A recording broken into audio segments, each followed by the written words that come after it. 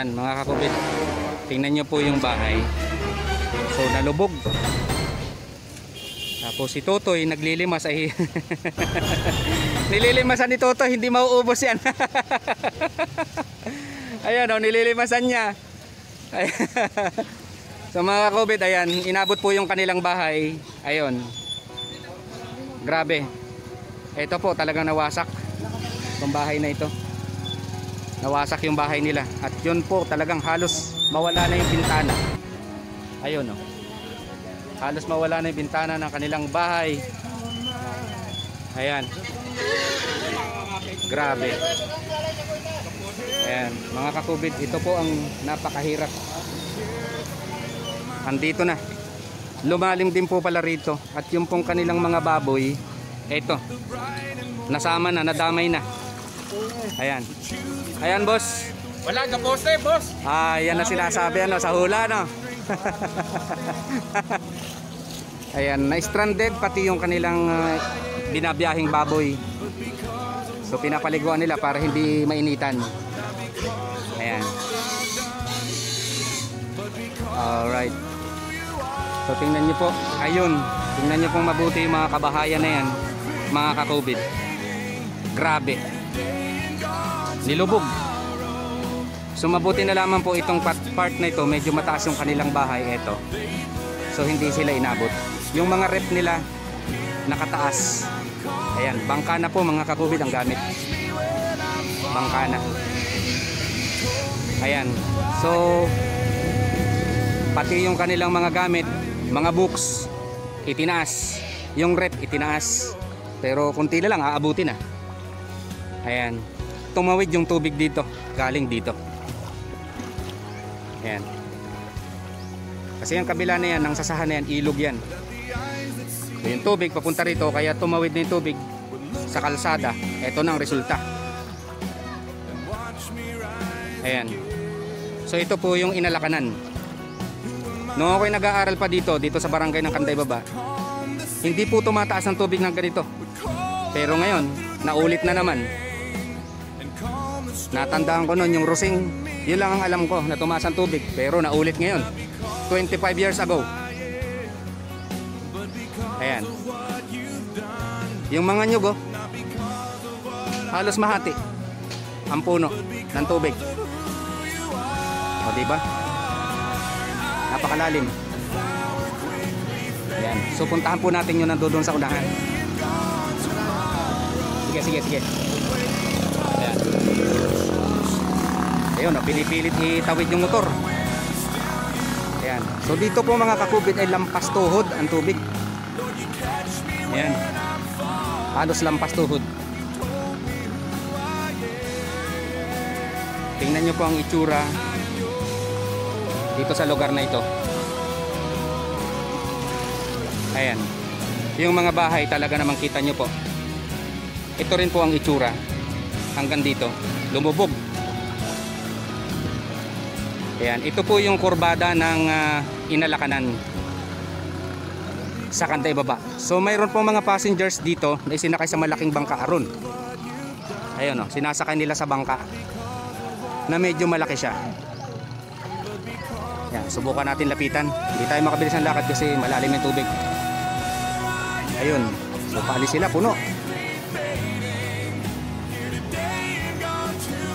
Alright. Ayun, no.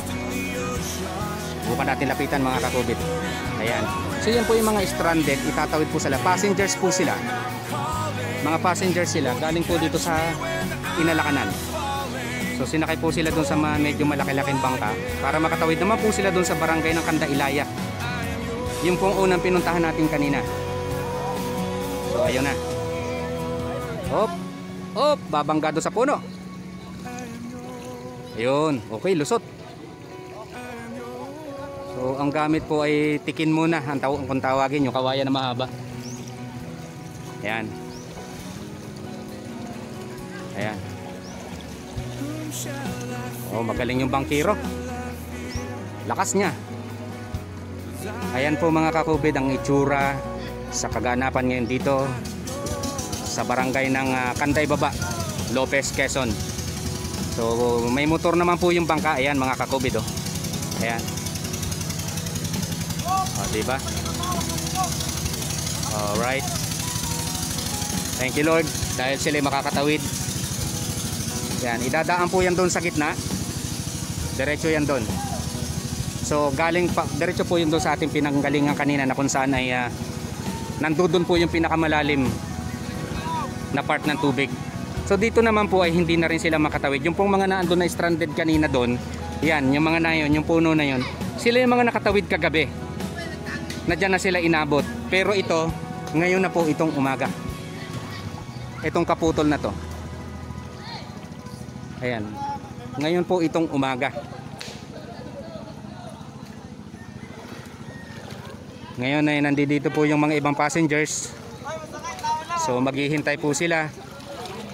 So mukhang ito po ay galing pa ng ibang bansa. Ayan. Eh. So itatawid sila. Ayan. Tricycle. Ang hirap mga kakubid talaga namang sobra ang inabot. Boss, saan pa po ba ang uwi natin? Pagkano ko boss, nag-report na? Palis na ako, palis na. Ah, pa-flight ka na. Ayan. So si Kabayan ay pa-flight na. Saan po ba bansa ang punta natin, boss?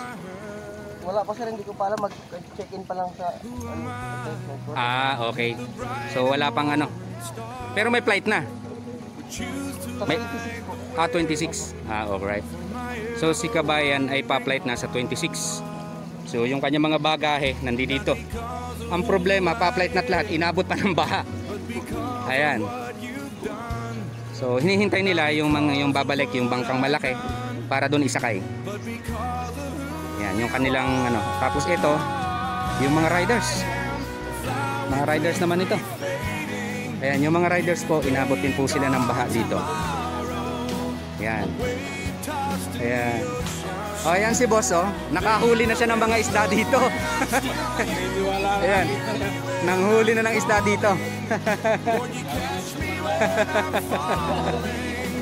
Alright. So, ito po yung mga riders.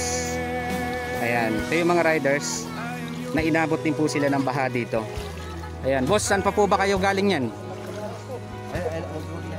Ah, wag na raw. So, wag na daw po muna nating alamin kung saan tayo sila galing.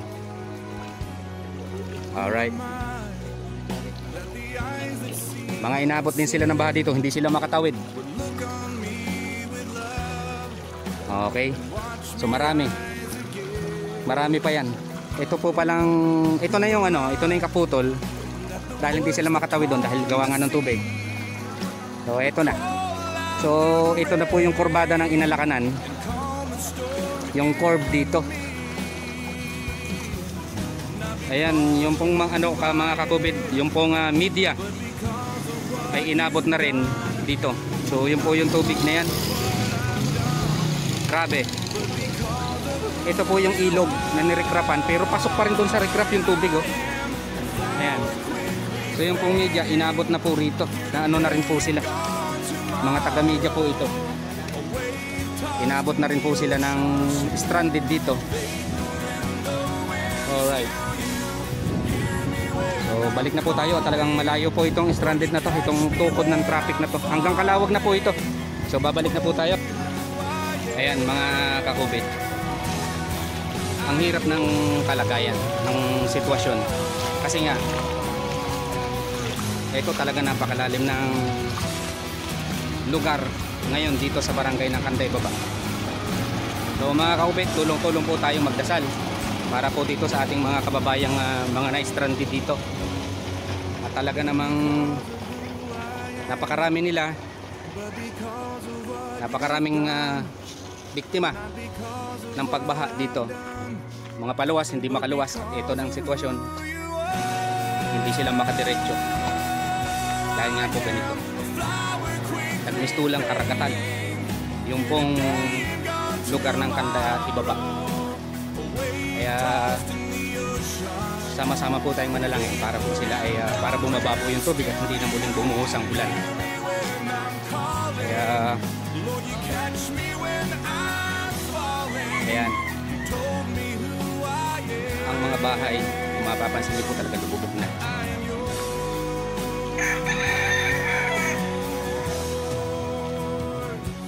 Grabe.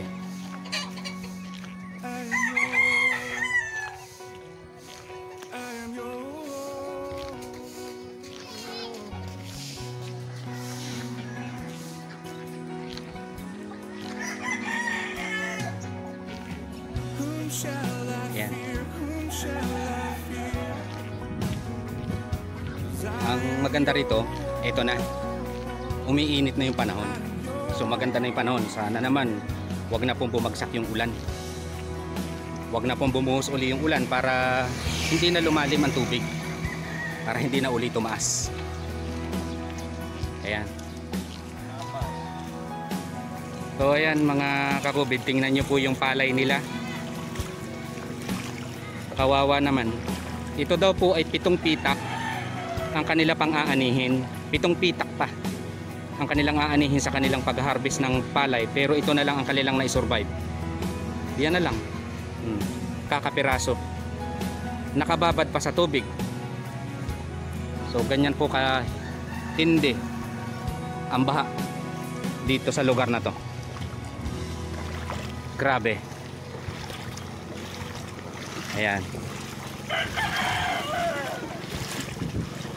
Ito pong nilalakaran natin ngayon ay ito po yung kalsada. So pabalik ulit yung bangkang malaki. Naihatid na po nila yung unang naabutan natin kanina.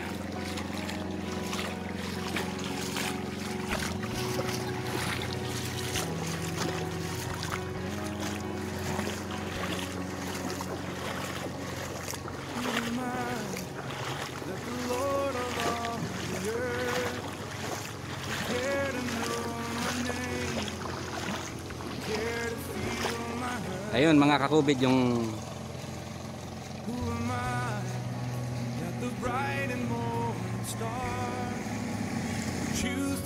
So mga kakubid, ayan nga po ang kaganapan ngayon dito sa lugar na ito na kung saan ay talagang napakatindi ng baha. Malalim ang tubig. Ayan. Napakalalim. Um, napakahirap ng mga sitwasyon ng mga kababayan natin ditong mga na-stranded. Mahirap. Dahil talagang maghihintay sila kung kailan bababa ang tubig.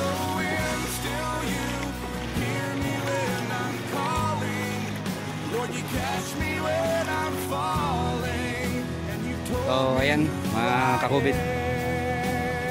Ah, nandito na po ulit tayo sa crossing. So balik na tayo. Balik na tayo. Ito na po yung mga itsurahin. Yung mga nagbalagbagang sari-saring mga sasakyan dito sa crossing sa Toll Power. Ayan. So babalik na tayo. Ayan. Ay lalarga na. Mainit na. Salamat sa Panginoon at maganda ng panahon. Okay na po yan. So God bless sa inyo mga kabayan. Kasalamang. Good luck. Ayan, ito na yung ito na yung paahon sa amin mula dito sa crossing ng Kanda. Ito na uli yung paakyat sa amin pero tingnan nyo naman kung gaano kahaba kung gaano kahaba ang pila at stranded na mga sasakyan. Ganyan kahaba. Papunta na sa amin. Pambira. Eh, mga pugi! So, ayan. Ang haba, mga kakobit. Alright. So, hanggang dito. Meron pa rin. Ito yung last. So, paparking pa yung isa. May landslide pa rito. Ayan. Ang bihira.